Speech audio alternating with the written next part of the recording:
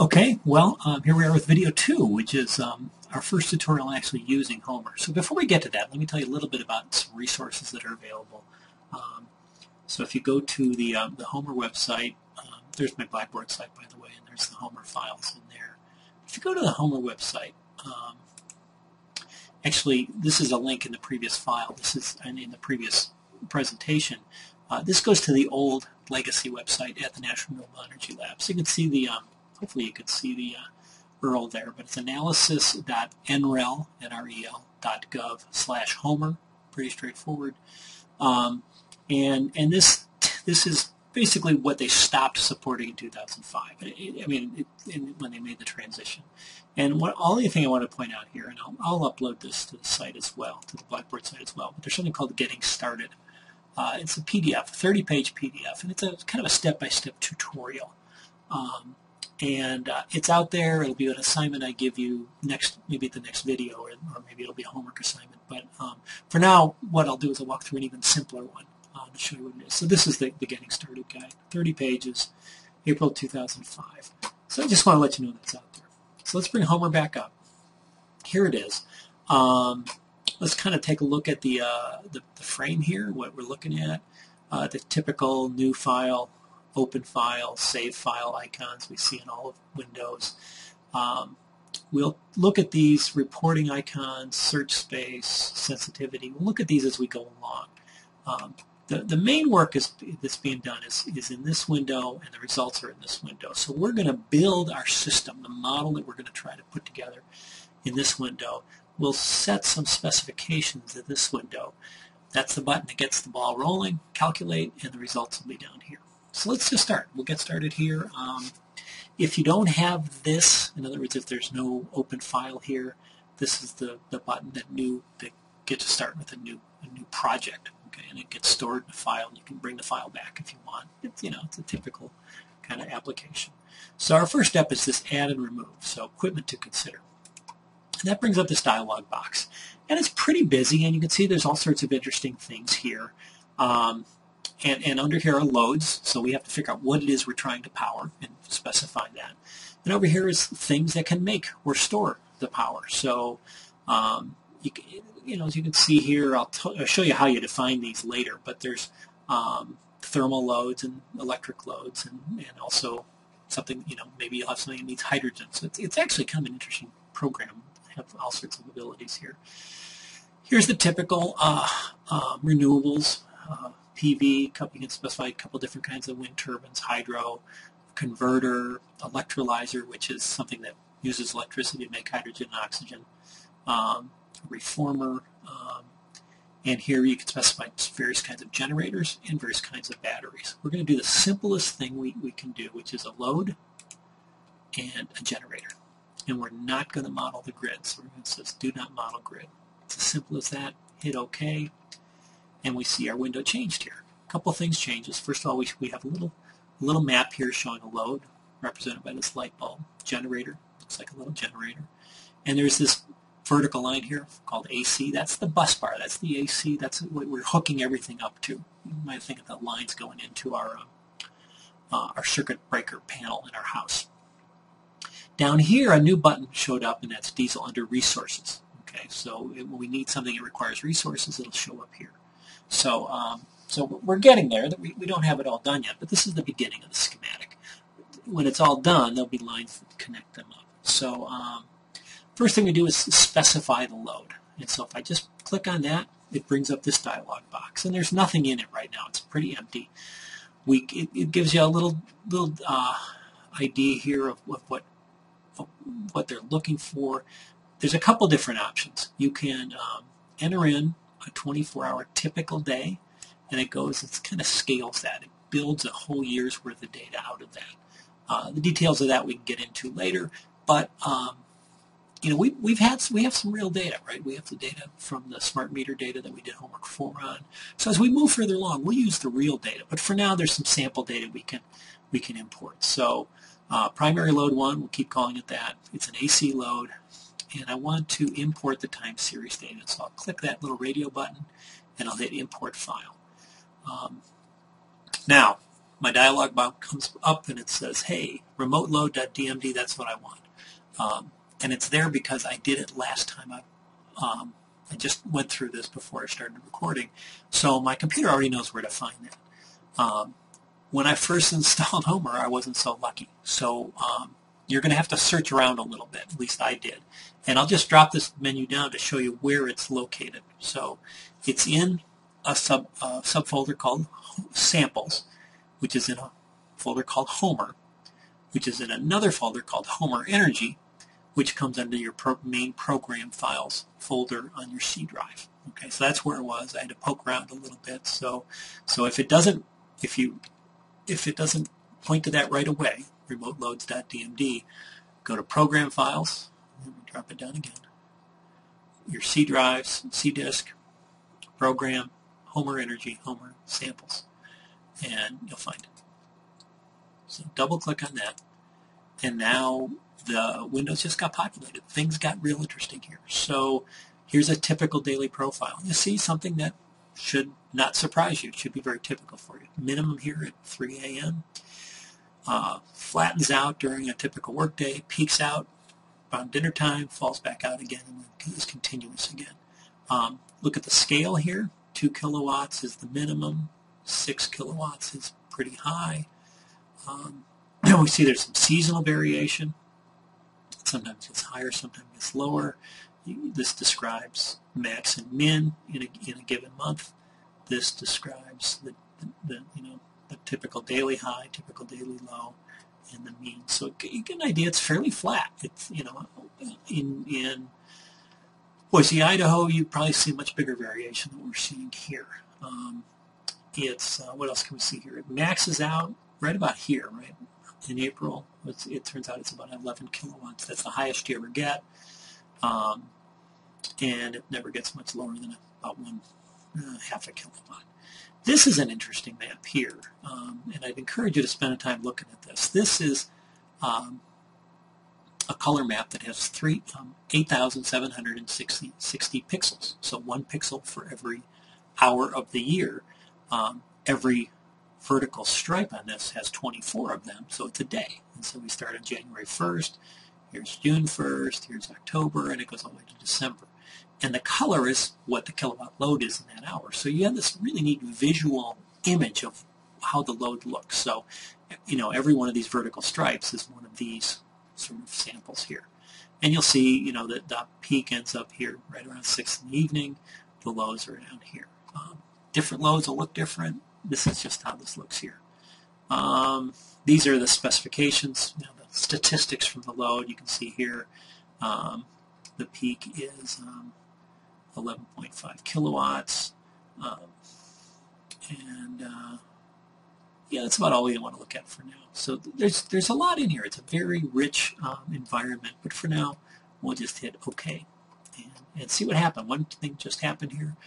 We got a line from the AC grid to our primary load and some specifications on the load. It's averages about 85 kilowatt hours per day. So, you know, what was our homes, right? Our, what we saw in um, our samples and what we mentioned in class, 25 to 30 kilowatt hours per day is fairly typical for an Idaho home. So this might be, I don't know, three or four Idaho homes that are out remote in the middle of nowhere and we need to generate electricity for.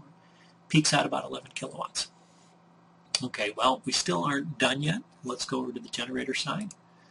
And now we talk about the input. And this is where it's going to take a little bit of research. Um, because we what they really want to know is how much it costs. This is the screening curve part of our operation.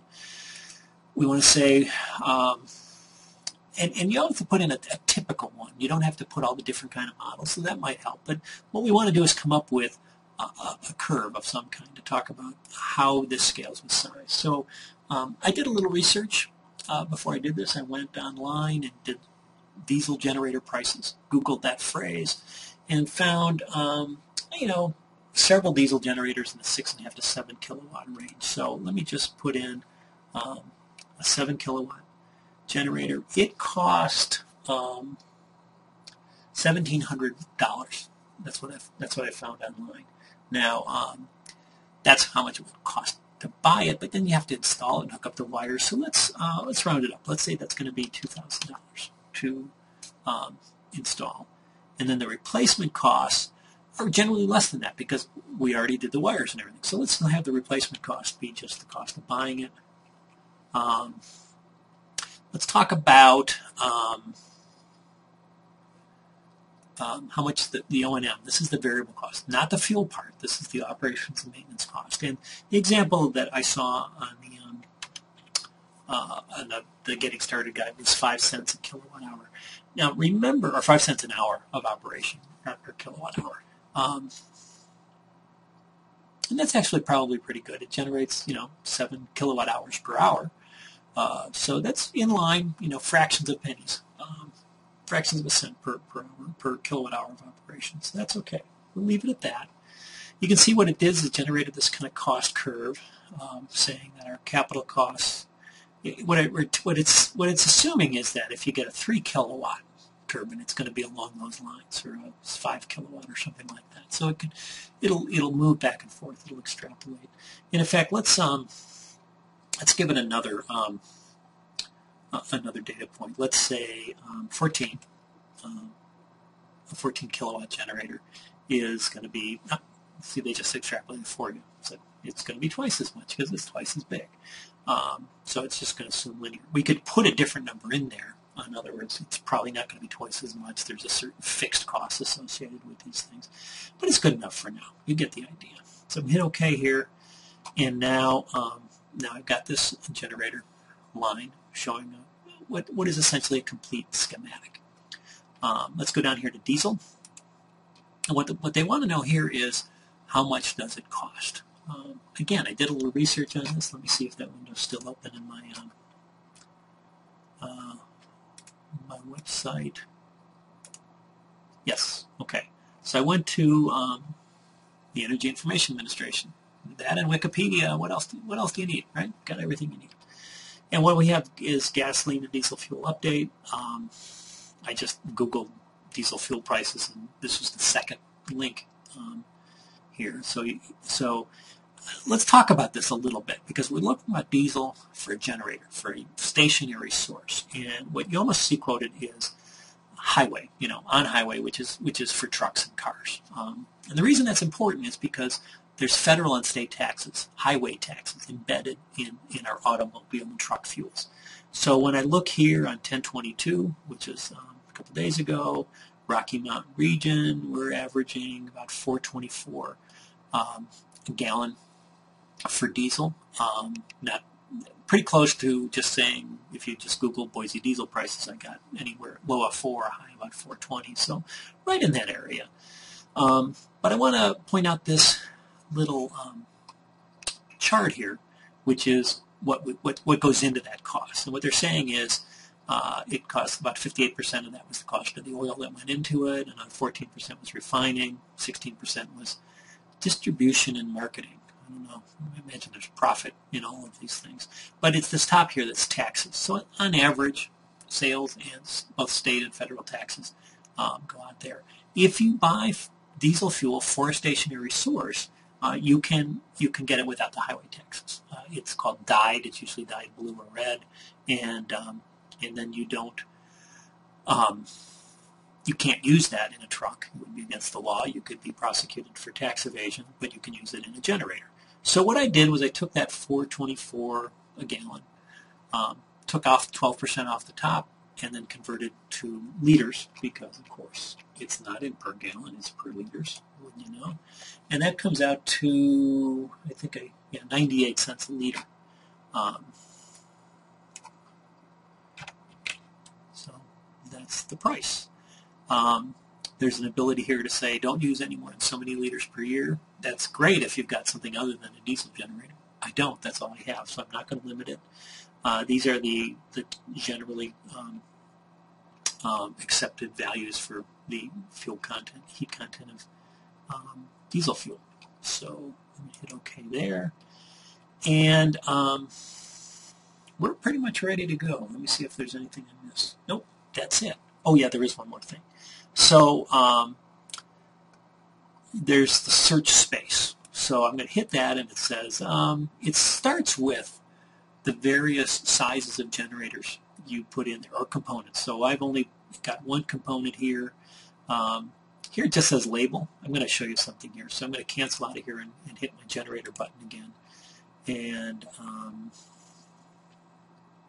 and see here under properties, it's generator 1, and here it says label. So I'm going to call that gen 1, which is our gen. And now go back over here to search space. Oh, and there we go. So, so when you do, when you give the when you start making a complicated system with lots of different components, give them names so that when you get to these tables and these other locations, you, you have a better idea what you're looking at. So this this you know if you have many different kinds of of power sources, electric sources in here, or batteries or things. This gives you a grid which shows you how hard it's going to look. What what are the bounds of its um, its testing? What kind of combinations of variables is going to look for for an optimization? So here, um, there aren't any other ones. So it's it's a very simple search. It's going to try zero kilowatt generator, a seven kilowatt generator, and a 14 kilowatt generator. Um, I can tell you right away. Right, we already saw that the peak load was 11 kilowatts. So um, it says right here, right? 11 kilowatts is the peak. So a zero kilowatt generator or a seven kilowatt generator clearly isn't going to be acceptable. So it's going to choose through an optimization method the 14 kilowatt generator. Let's see if that's right. Calculate it. Huh, look at this. Um, it's only found one viable solution, and what a surprise! It's the 14 kilowatt generator. Uh, it says it's going to cost $4,000, which is what we thought it would be. Its operating cost will be $22,000 a year. The net present cost, in other words, if you look at the 30-year life, and, and, somewhere in the generator load we said, think of it as a 30-year life, $288,402, which gives us a cost of energy of 72 cents, 73 cents a kilowatt hour. So it's expensive energy, right? We pay, it's about 10 times what we pay Idaho Power, seven and a half cents is what we pay. Um, in a year, we're going to use almost 20,000 liters, uh, divided by four, 5,000 gallons of um, diesel fuel, and um, it runs all the time, 8,760 hours. Um, so let's um, hit that and, and double click on that. And, and here's some information here. So here's our cash flow summary, pretty boring, one chunk. At, this is how much you, this is the net present value. Um, if you actually look at how it goes over time, what you see is um, a lot of fuel costs, then every three years some replacement costs. So in the generator description, it said it's only good for, I think, 15,000 hours, which is about two years. So yeah, so every two years we get buy replacement. Um, and then at the end of its, it's a 25-year life, I guess. There's, a, oh, that's right. We said the generator could last for um, Oh, I know. So it's, it's a 30-year analysis. And so there's some some salvage costs on the end of it. Um, anyway, that's the that's what the cash flow diagram looks like. Electricity is not very interesting. It basically, is, you know the, what we generate out of here is going to look just like load. Here's another one of these cool. They're called D maps, but in this case, it's showing what the generator does. And it's it's colored differently just because the scale set differently, but it's the same same idea, same thing we are seeing. Lots of information here. Um, here's the capacity factor of the generator. So, you know, we, it's a 14 kilowatt generator. It never reaches 14 kilowatts. So if you look at how much ener energy it had to generate to meet that load, divide by its total capacity, which was 7, or was it 14 kilowatt times 8,760, it's a it's only about 33% capacity factor. So you're only using about a third of this thing. So that's one of the reasons it's a little expensive. Um, see, it never gets below 4.2 kil kilowatts. It never gets any higher than 11.5. Um, makes 40,000 kilowatts a year. Um, and a Homer just crashed. That's interesting. Um, I don't know why it just did that. So I'm going to, um, yep, it's gone. Good enough. I was at the end of what I wanted to do anyway. So um, I'm going to leave it at that. We'll, we'll upload this video. You should get what's going on. Hopefully it's not going to uh, be a recurring problem for me or for you for that matter. And we'll um, see you in the next video. Thanks.